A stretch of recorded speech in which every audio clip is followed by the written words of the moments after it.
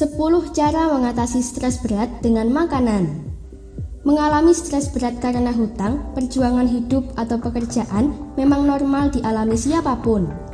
Namun, ketika kesedihan terus-menerus dan perasaan menjadi tak berdaya, putus asa, dan tidak berharga menjadi bagian dari kehidupan Anda dan mengganggu aktivitas, Anda mungkin menderita depresi klinis alias stres berat. Depresi dapat menyebabkan gejala yang parah yang mempengaruhi bagaimana Anda merasakan, berpikir, dan menjalani kegiatan sehari-hari seperti tidur, makan, atau bekerja. Berurusan dengan depresi tidak mudah bagi orang serta anggota keluarga.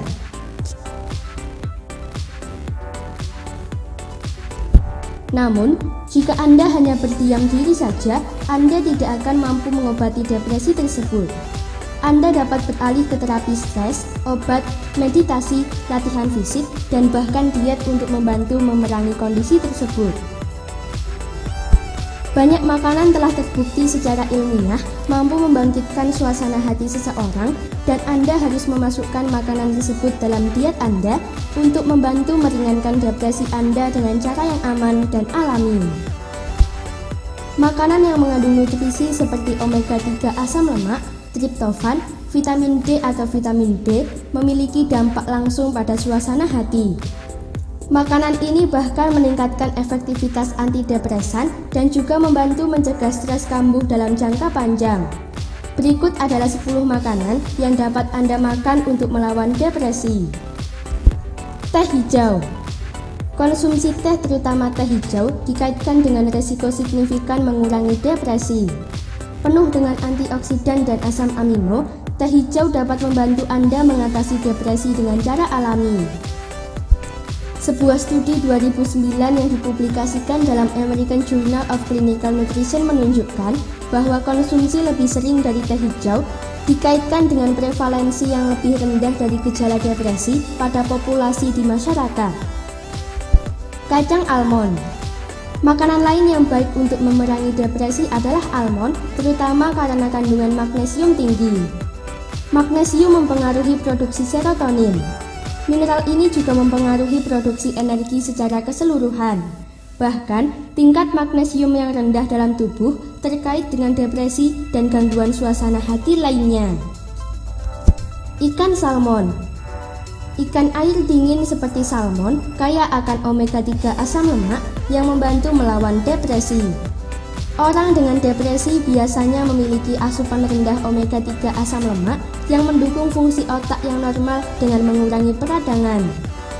Coklat hitam Coklat hitam dapat meningkatkan kadar serotonin dalam tubuh yang memiliki kualitas hampir identik dengan antidepresan. Juga mengandung karbohidrat dalam bentuk gula dan memberi sinyal tubuh dan memberi sinyal ke tubuh untuk memproduksi lebih banyak serotonin. Telur Telur dikemas dengan protein dan nutrisi yang efektif untuk memerangi depresi. Telur adalah sumber yang baik dari zinc, mikronutrien penting yang dibutuhkan oleh tubuh untuk meningkatkan produksi neurotransmitter. Dengan mengkonsumsi makanan kaya zinc seperti telur, Anda bisa melawan kekurangan zinc serta depresi dan gangguan lainnya. Pisang Pisang mengandung jumlah tinggi triptofan yang dikenal untuk meningkatkan tingkat serotonin tubuh. Ini hanya salah satu komponen yang meningkatkan suasana hati dalam pisang. Juga membantu dalam memproduksi tirosin, bahan untuk norepinefrin dan dopamin, dua neurotransmitter penting yang dapat mempengaruhi suasana hati. Alpukat Tingginya tingkat asam lemak omega 3 dalam alpukat membuat mereka menjadi pilihan yang mengagumkan untuk orang yang menderita depresi. Asam lemak omega 3, terutama EPA dan DHA, dapat meningkatkan volume materi abu-abu di bagian otak yang bertanggung jawab untuk mengatur emosi. Blueberry Blueberry penuh dengan antioksidan yang mendukung fungsi otak yang tepat dan meningkatkan fungsi kognitif. Mereka sangat efektif terhadap depresi. Bayam Bayam kaya nutrisi seperti asam folat, magnesium, dan zinc yang penting untuk menjaga kesehatan otak dan melawan depresi. Nutrisi ini juga memastikan berfungsinya saraf dan otot. Asparagus Sayuran hijau serbaguna ini juga bermanfaat bagi orang yang menderita depresi. Asparagus membantu meningkatkan kadar asam folat rendah yang terkait dengan depresi.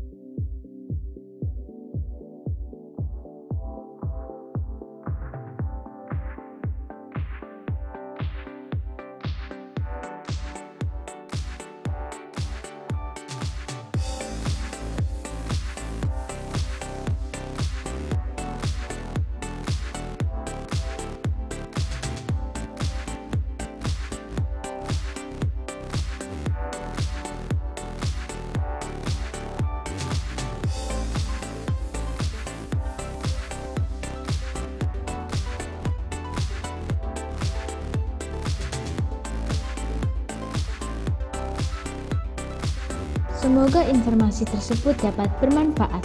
Jangan lupa untuk klik subscribe untuk mengetahui video terbaru dari kami.